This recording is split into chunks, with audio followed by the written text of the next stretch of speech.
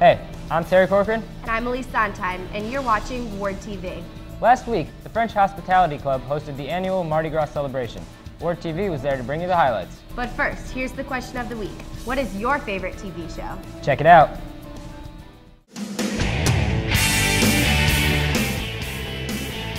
Uh, my favorite show is definitely Samurai Jack. The Office.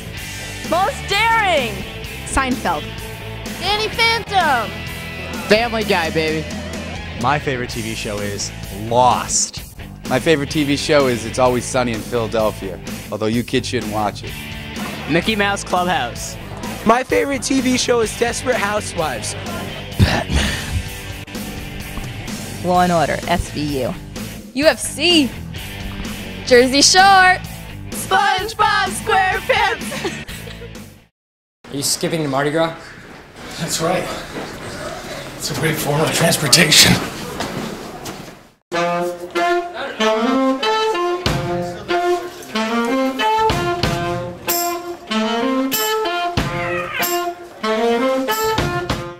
On Tuesday, March 16th, the French Hospitality Club celebrated the holiday of Mardi Gras, also known as Fat Tuesday.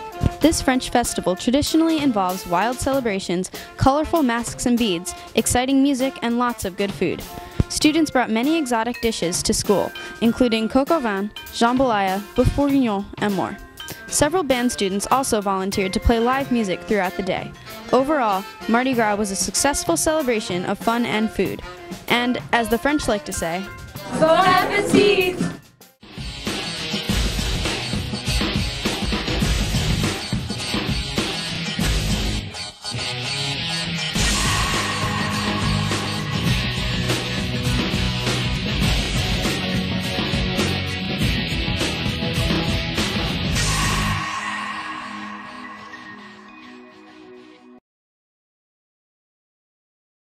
Today what we're going to talk about is a, uh, a program that uh, was brought to us by a software company called Anderson Software. And it's, it's called T- Texatip. Yo, are you ready to uh, break into Kenny Willis's house after school today? Yeah, we're gonna steal all this. It's gonna be awesome. You would, you would text to 274637. That is the number that you would text to. And then in the body, in the narrative of the report, you would simply just write tip, either 373 or FPD, and your message. And then you just hit send. This is a high-tech sort of uh, way of students being able to relay information to a police department completely anonymous. If you think that it's something that's crazy or you think that you overhear something that's weird, you can give us a tip anonymously and we will never know who you are. Most crimes are not solved by police officers alone. It's solved by direct cooperation from the citizens. Welcome back. You're watching Warde TV. Remember that Battle of the Houses will be coming next week. So Fitz House, show your spirit by buying a t-shirt. Now, here's a message from Kevin Callahan about the Freshman Forum on underage drinking. Check it out. Hello, my name is Kevin Callahan, and I want all freshman homerooms to listen very carefully. Next Thursday, March 25th, from 7 to 8.30 p.m., there will be an assembly on the dangers of underage drinking for the freshman class and their parents. Yesterday, Ludlowe had their assembly on underage drinking and over 500 people attended. As rival schools, we must beat them at everything. Therefore, we need all freshmen and their parents to attend. Now I know that you would like to be doing other fun things like homework, but for those that attend, there will be a reward.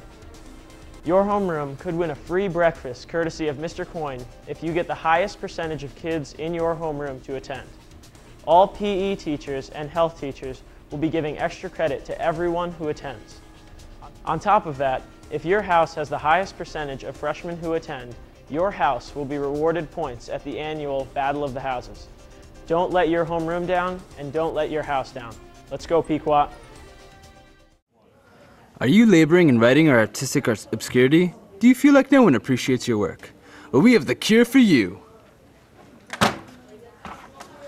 Submit your creative writing or art for publication in the Odyssey, in Mr. Flynn's room, F5. The deadline is April 5th. Spread the word! Well, that's all the time we've got. The first day of spring was on Saturday, so happy spring. I'm Terry Corcoran. And I'm Elise Sondheim. And, and we're, we're, out. out.